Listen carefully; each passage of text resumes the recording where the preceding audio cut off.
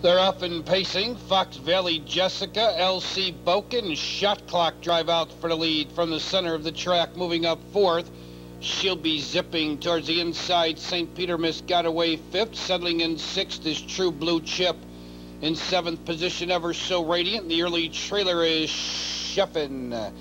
Battle for the lead as they move into the stretch for the first time. Shot clock wants the lead. Fox Valley Jessica looks to drop in second. They roll by the quarter, 28 and 1.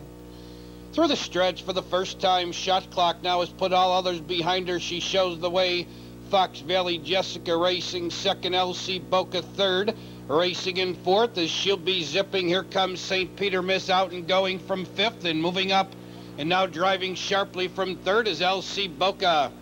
They race to the half mile pole and shot clock shows the way LC Boke up on the outside second. Fox Valley Jessica third, gaining ground with cover fourth goes St. Peter Miss. Then on the inside fifth, she'll be zipping. True Blue Chip out there sixth. Ever So Radiant seventh. Sheffin at the end, and she's nine lengths from the leader. And there goes St. Peter Miss with a rush.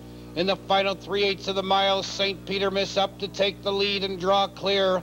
Racing in second is LC Boca shot clock's fading fast on the rail, in Fox Valley Jessica's going to get hopelessly pushed back.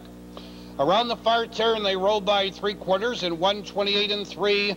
It's St. Peter Miss the leader up on the outside. Here comes True Blue Chip. LC Boca third ever, so Radiant comes on fourth, racing in fifth as she'll be zipping. They're in the lane.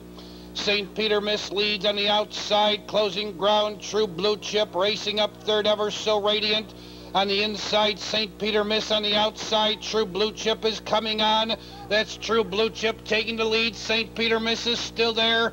True Blue Chip in front. St. Peter Miss second and Ever So Radiant was third.